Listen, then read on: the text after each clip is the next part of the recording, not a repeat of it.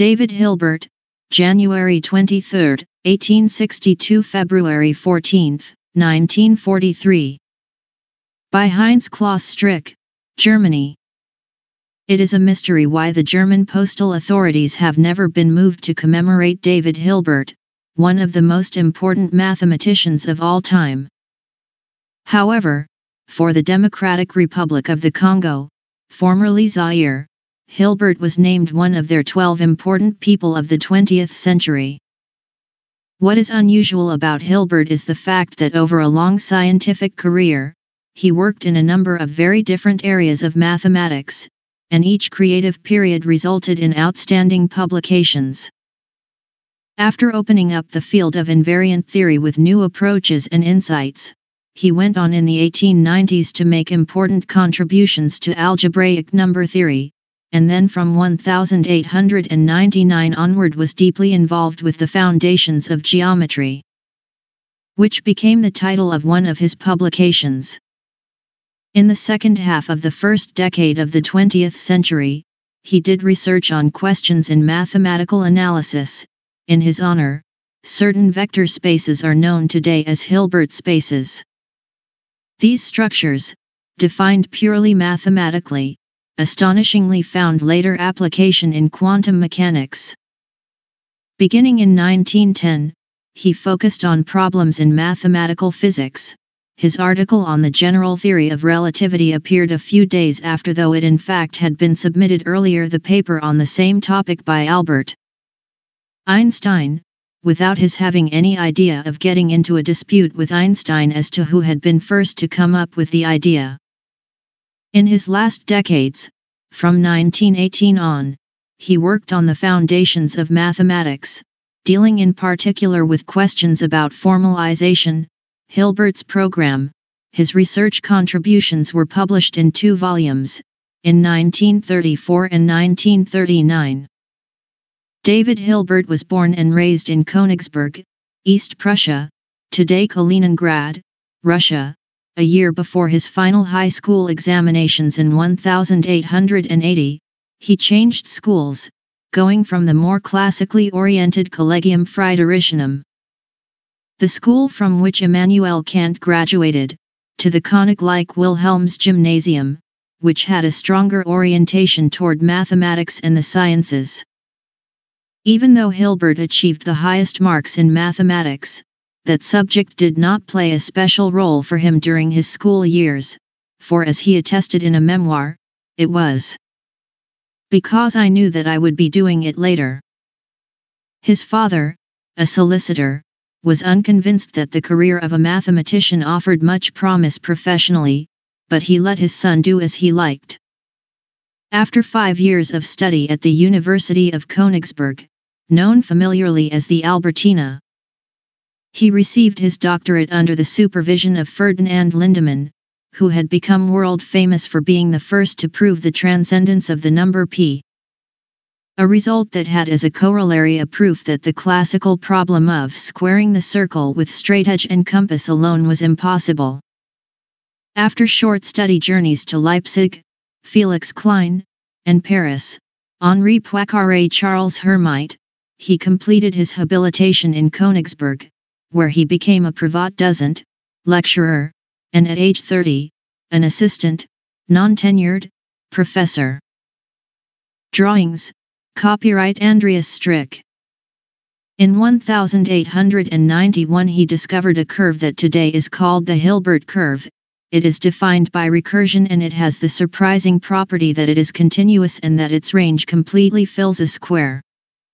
In 1895, he was offered a chair at the University of Göttingen, which from the time of Karl Friedrich Gauss had become one of the most important centers of mathematical research in Germany. Hilbert made Göttingen the international center for mathematics and physics.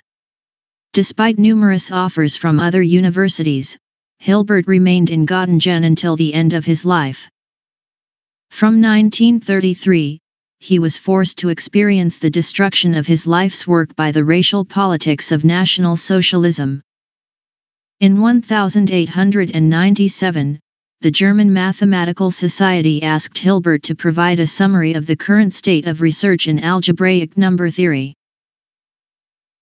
As a result of this proposal, he wrote, in collaboration with his university friend Hermann Minkowski, at the time still in Königsberg, later in Göttingen, the famous Zählbericht, number report in which he systematized the theories of Ernst Eduard Kummer, Leopold Kronecker, and Richard Dedekind, and not only with regard to notation, for he also found and mended holes in some of their proofs.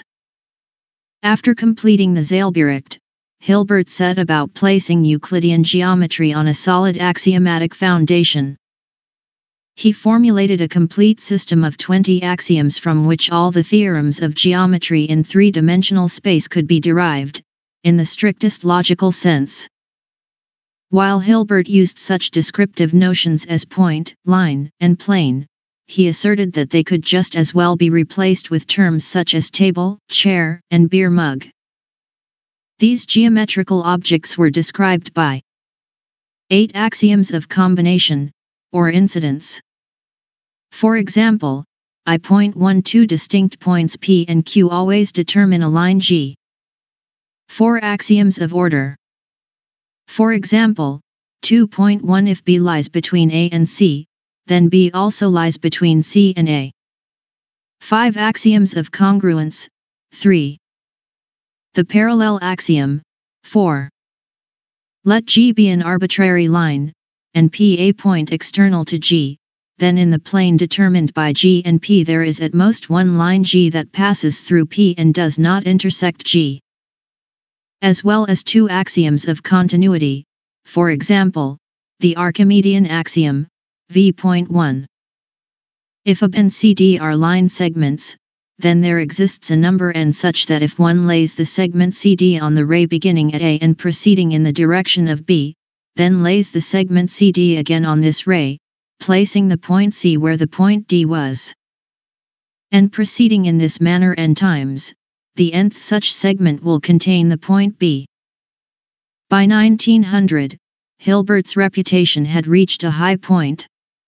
He was elected president of the German Mathematical Society and was invited to give one of the plenary lectures at the Second International Congress of Mathematicians, held in Paris that year. In that lecture, he offered a programmatic overview of the important research topics in mathematics for the new century. What will be the particular goals toward which the leading mathematical minds of the coming generation will strive? What new methods and new facts will the new centuries discover in the broad and rich fields of mathematical thought? His list of 23 unsolved problems influenced research in the 20th century to a large degree, and anyone solving one of Hilbert's was assured of immediate renown.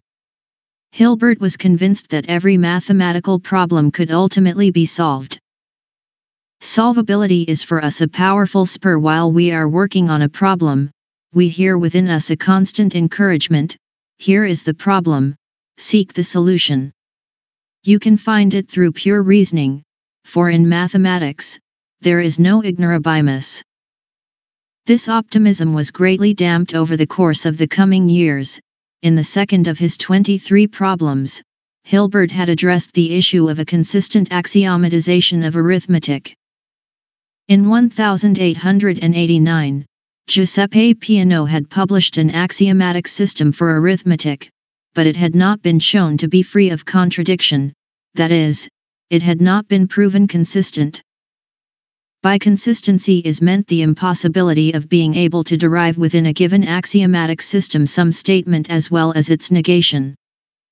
In a lecture in 1928 at a mathematical convention in Bologna, Hilbert presented a logical calculus of formal inference. He hoped that this would form the basis of a proof of consistency.